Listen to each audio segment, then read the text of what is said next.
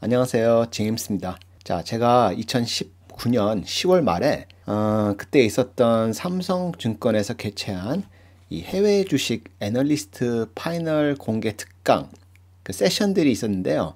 그 세션 중에 어, 스트리밍 경쟁에서 최후의 승자를 찾아라.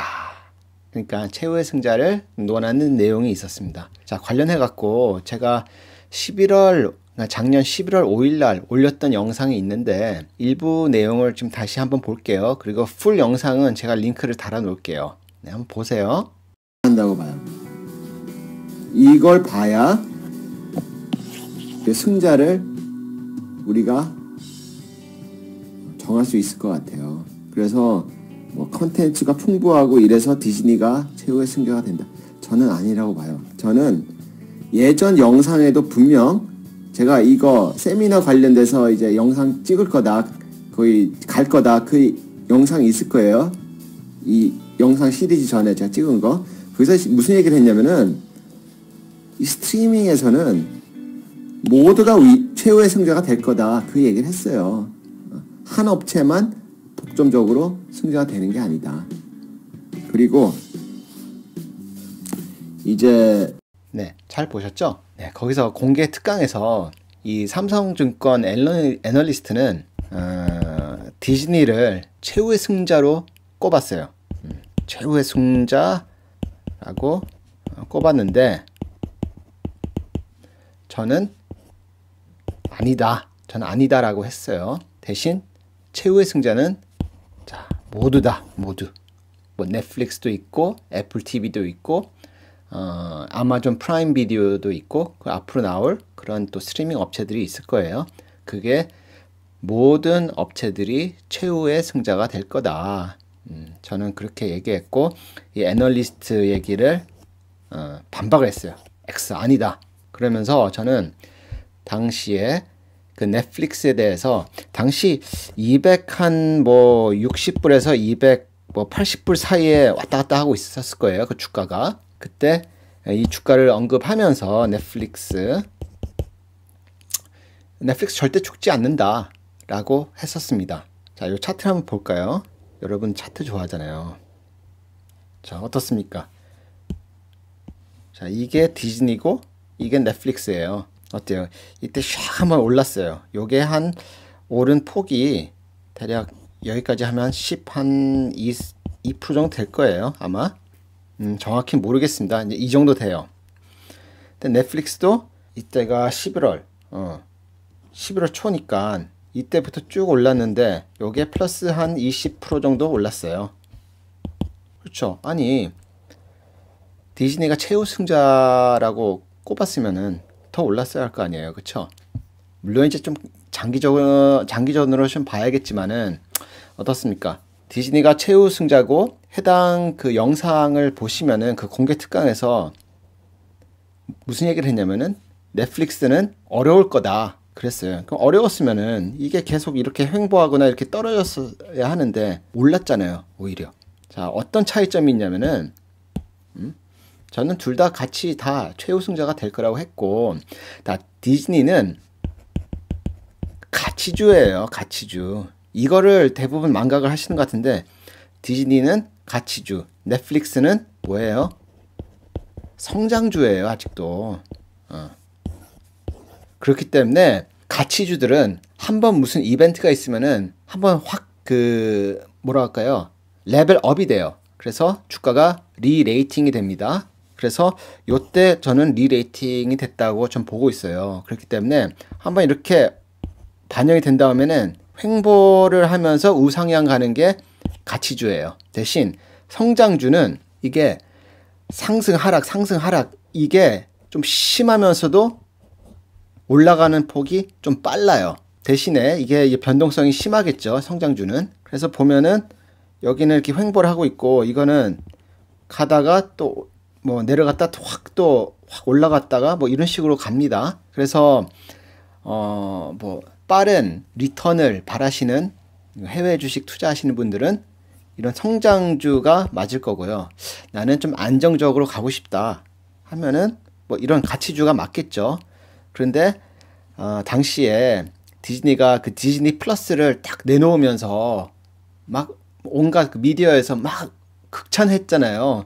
그러니까 당시에 이 애널리스트들도 어?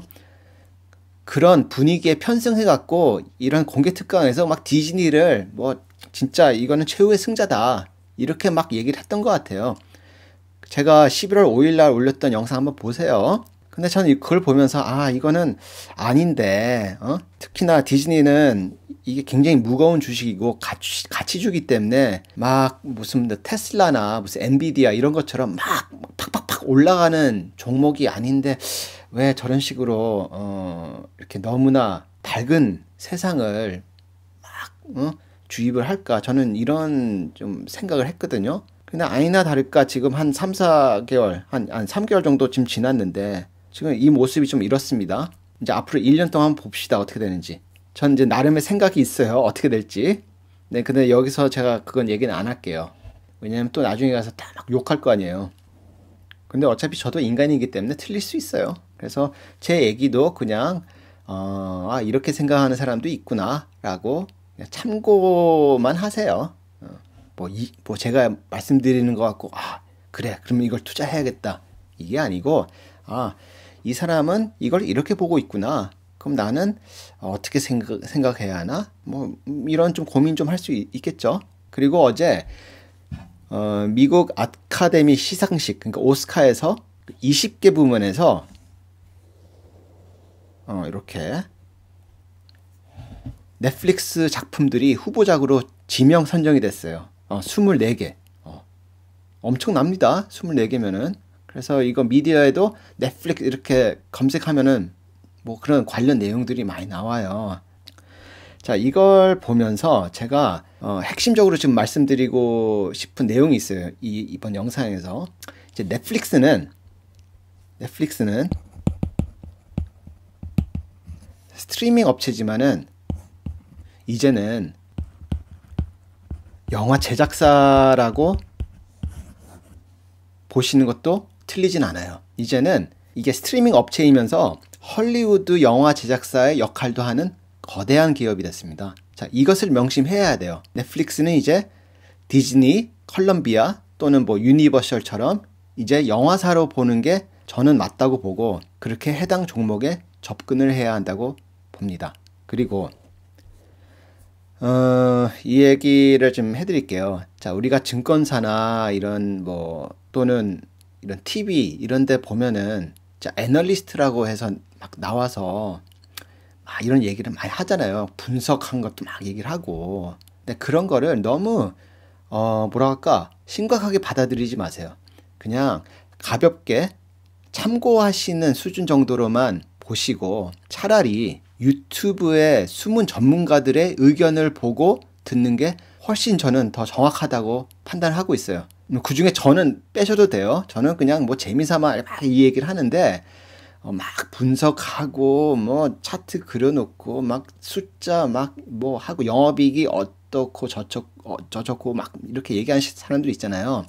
어, 그런 분들은 진짜 막 공부하시는 분들이에요. 음. 근데 애널리스트들은 이제 그 회사에서 큰 연봉을 높은 연봉을 받으면서 하잖아요. 그러니까 나름의 어, 그뭐 성과를 내야 하는 부분도 있어요. 그렇기 때문에 그 당시에 막 인기 있는 또는 회자되는 그런 내용들을 중심으로 뭔가 굉장히 이렇게 긍정적으로 어, 이렇게 어, 제시하는 경우가 어, 상당히 많아요. 그런데 유튜브에서 이런 해외 주식 관련돼 갖고 뭐 영상을 만드시는 분들 보면은 나름 소신을 갖고 막 만든단 말이에요. 그렇기 때문에 어, 그분들 시각들이 더 정확할, 정확할 때가 있어요. 저 같은 경우는 솔직히 굉장히 길게 내다보고 투자하는 스타일이기 때문에 어, 저하고 여러분들이 지금 이거 보시는 해외 투자자분들하고 좀 안 맞을 수가 있어요. 투자 패턴이나 투자 철학이. 그런데 어, 제가 해외 주식을 지금 5년 넘게 하다 보니까 음, 확실히 저는 제 길이 맞다고 봐요. 이 지금 성과 나오는 거 보니까 나중에 기회가 되면 또 제가 뭐 지금 보유하고 있는 종목을 또 뭐 공유할 수도 있겠지만은 어, 그건 뭐 나중 이야기고 어, 뭐 유튜브 전문가들 의견을 받아들이는 게 확실히 정확한 건지 아니면 애널리스트 말들을 진짜 심각하게 고려해 갖고 투자하는 게 맞는 건지는 여러분들이 그거는 판단하시는 게 맞을 것 같아요. 네, 영상은 여기서 마치겠습니다. 감사합니다.